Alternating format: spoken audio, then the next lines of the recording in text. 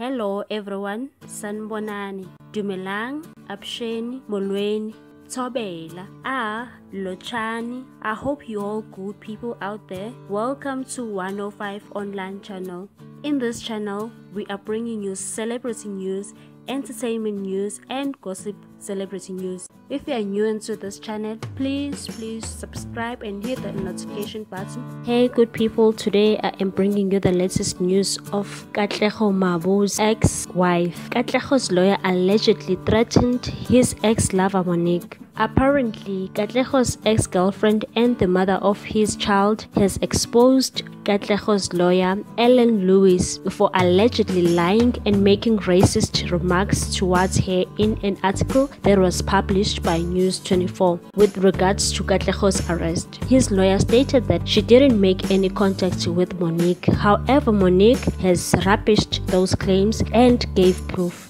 News 24 reported that the former Expresso presenter was not supposed to appear in court in the first place. This was revealed by his lawyer Ellen, who told the publication that the charges against Katlego were false and went on saying that she didn't make any contact with the accuser Monique Muller. Monique shared a screenshot on her Instagram stories to prove that Ellen Lewis tried to contact her on Facebook when she first sent a friend request, to which Monique ignored. Ellen finally got hold of her when she sent a text message, and according to Monique, Ellen even made threats and racist remarks. She shared a screenshot on her Instagram stories and captioned, A pathetic excuse for harassing my family. We have a child together. One family member is a contact person. Proof is with the LPC. Screenshot was written only starting now with you. You should never underestimate a white female lawyer. Katlego Maboe was allegedly arrested on the 2nd of January this year,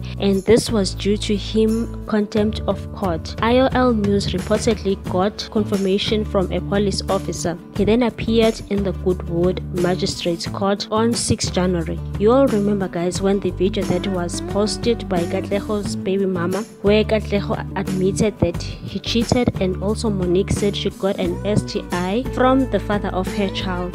All the problems of Katlego Maboe started there and Monique also revealed that Katlego is allegedly abusing her. What do you think about this situation guys? Please leave a comment down below. Thank you, thank you so much for watching. Please do not forget to subscribe and hit that notification bell so that you can get more videos on this channel. 105 Online channel loves you. Bye good people.